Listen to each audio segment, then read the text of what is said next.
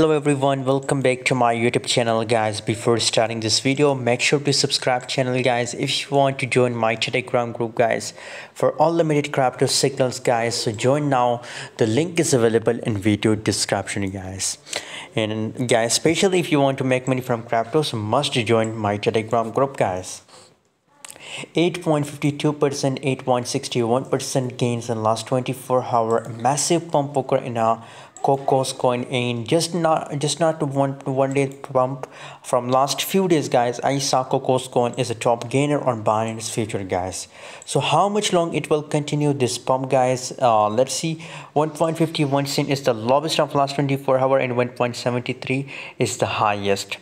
A lot of people asking question about Cocos token that is there possibilities uh, that it will pump more or not guys so according to my prediction guys maybe for a little bit guys it will dump guys. Currently uh, I, I 1.50 US dollar is my target. 1.50 cent is my target for Cocos coin that it will dump guys. And 1.50 cent is the best entry zone for Cocos coin guys. By the way what's your opinion about Cocos? Please share in the comment box